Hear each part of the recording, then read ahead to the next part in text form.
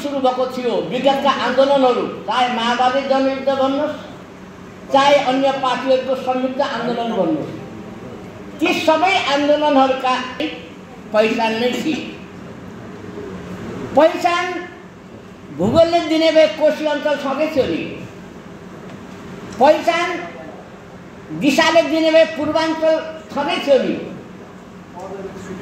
त्यसका लागि आन्दोलन भएको होइन यसकारण पहिचान इतिहास र सभ्यता दुइटैलाई सँगसँगै लिएर जानुपर्छ।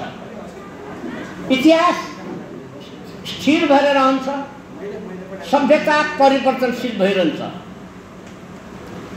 अहिलेको हाम्रो कुनै पनि हाम्रो मुलुकको निर्माण कुनै एउटा जाति एउटा संस्कृति एउटाले मात्रै गरे होइन। यसमा आर्यको पनि ठुलो योगदान छ। तर आर्यहरूको खास प्रवेश छैन।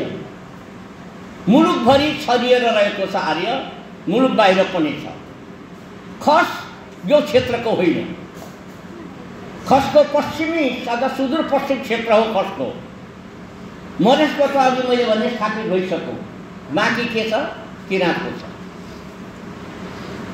यो पूर्वी पहाड जुन छ पूर्वी पहाडमा जति बसेका छन् सबभन्दा पहिले बस्ने जाति नै किराँत हो किराँतहरूले अनि दलितहरू बाहुन छेत्रीहरूलाई पनि आफ्नो जग्गाको केही अंश दिएर बसाएका हुन्।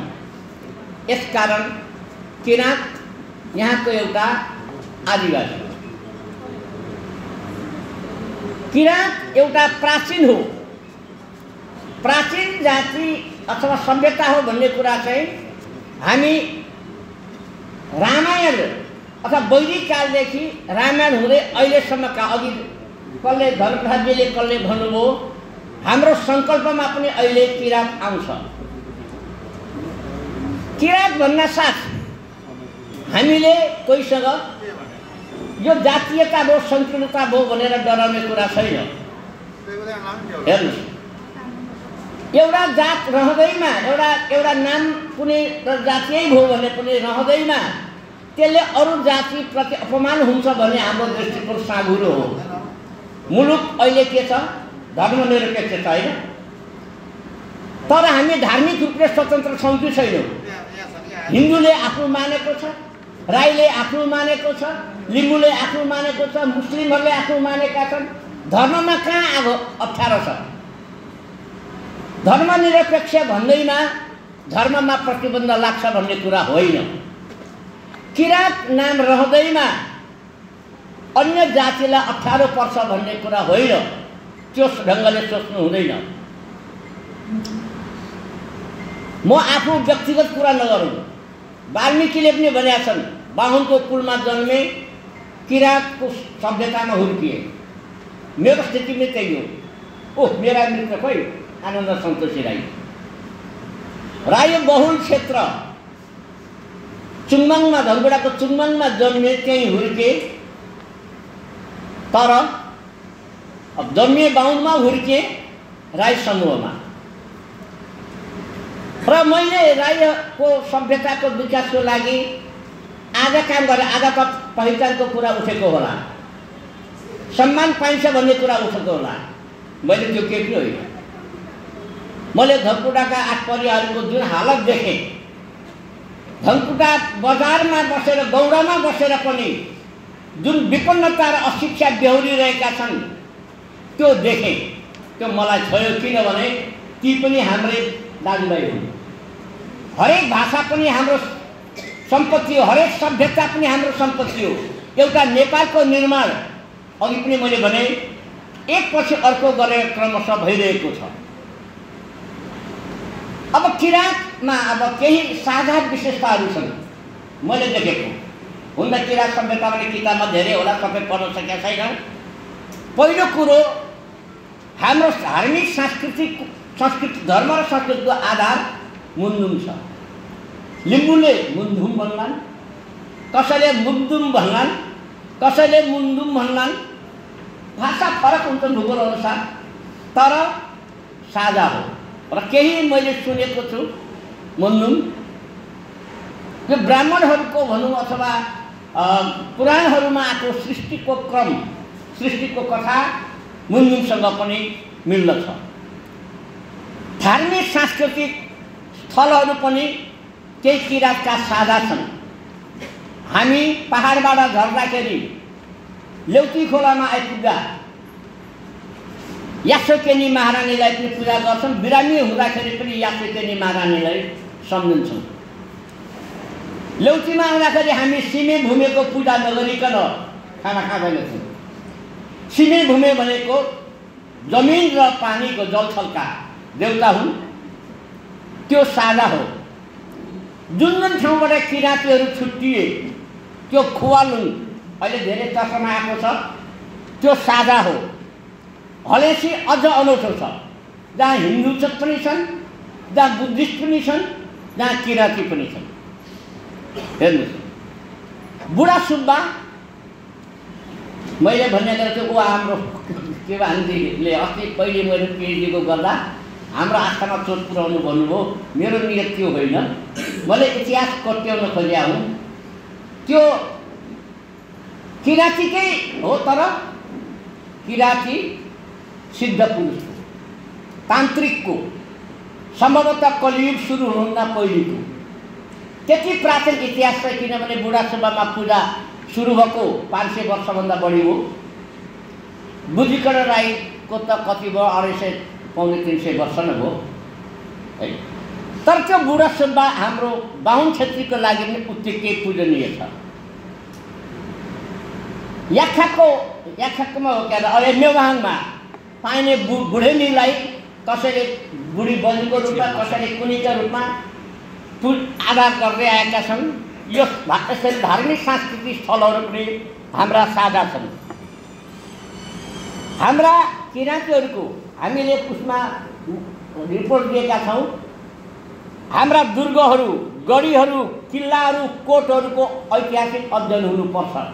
अब बन्ने प्रा एकाडेमीले त्यो गर्नुपर्छ। त्यो प्राकृतिक काम हो त्यो ऐतिहासिक काम हो भनेका छौँ ती पनि किराँतीहरूका साझा हुन्। चाहे लिम्बुवान क्षेत्रमा होस् चाहे खमुवान क्षेत्रमा होस्। जहाँसम्म प्रविधिका कुरा छ मर्चा सबैले बनाउँछन् होला। लिम्बूले पनि बनाउँछ अरू किराँतीहरूले पनि बनाउनु मर्चा प्रयोग गर्छन्। वाबुक अर्थात् चिन्डो पनि कमन हो यो। संयोगवश धरानमा मैले चिन्डोको अनावरण गर्नु पर्यो। बुद्ध चोकमा हेर्नुहोस् है? किनभने बुद्धको मूर्ति चाहिँ बाटामा राख्नु हुँदैन। भन्ने मान्यता आयो। र तिलक राई मेयर हुँदाखेरि त्यो गरियो। शिलाजी के अरे शिलाजित र चिरैतो। हाम्रा कमन घरेलु औषधि हुन् प्राचीन औषधिहरू हुन्। जहाँदेखि भारतको पटनासम्म व्यापार हुने राडी पाखी कम्बल चमर साझा हुन् त्यो भोटेसम्म पुग्छ। यति साझापन हुँदा हुँदै किन चाहिँ किराँत नाम हुन सकेन त? भन्दा अब मैले भने नरिस तपाईँहरू त को हुनुहुन्न होला यहाँ लिम्बू साथीहरू? लिम्बू साथीहरूले केले यसरीले के भनिदिन्छ भने हामी किराँती होइनौँ भनेर। किराँत नाम हामीलाई मन पर्दैन भनेर। मैले उहाँलाई भने त्यसो भए किराँत याक्थुङ चुम्लुङबाट किराँत शब्द हटाउनुहोस्। पहिले तपाईँहरू किराँत होइन भने किरा इमान सिंह चेम्जोङको किराँतको वेदलाई तपाईँहरू के भन्नुहुन्छ? इमान सिंह के अरे वैरागी काइनेलाई लेखेको किराँत व्याकरणलाई के भन्नुहुन्छ? अब दुई चारजनाले हामी किराँत होइनौँ भनेर हुन्छ। समस्या त्यो छ। सुन्छु।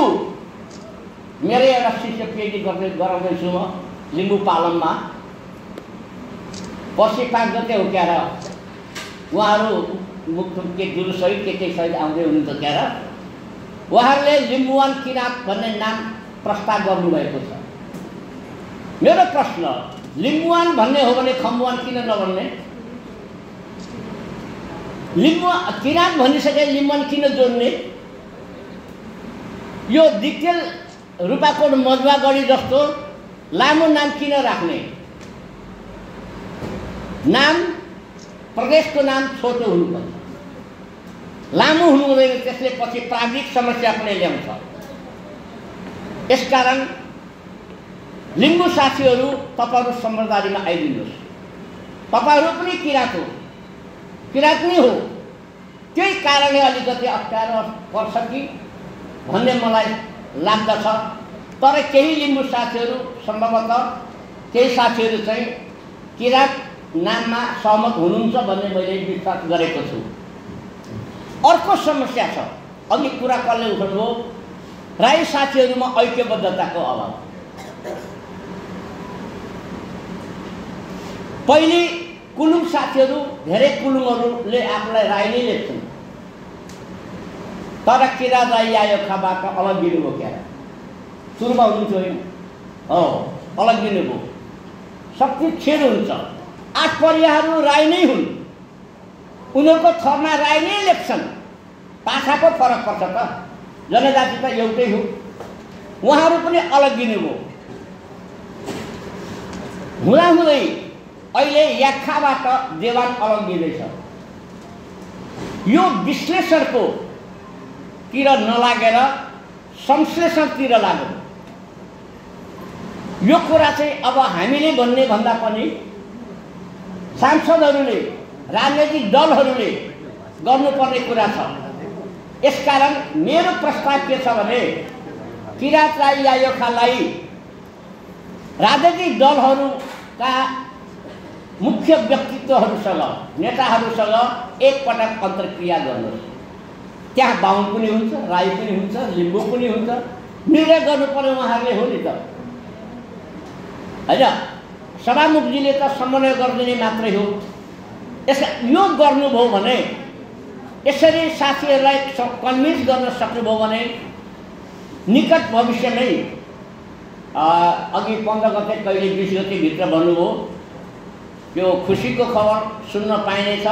र यो सरकारको पनि सफलताको एउटा आधार तयार पार्नेछ र ढिलै भए पनि एक नम्बर प्रदेशले एक नम्बर प्रदेशकै काम गर्नु छ। त्यो गर्नमा सफल हुनेछ। यही भन्दै तपाईँहरूको यो यो गोष्ठा विचार गोष्ठीको सफलता कामना गर्दछु र यो सरकारलाई पनि यो काम गर्नमा सफलता मिलोस् भन्ने हार्दिक शुभकामना प्रकट गर्दछु।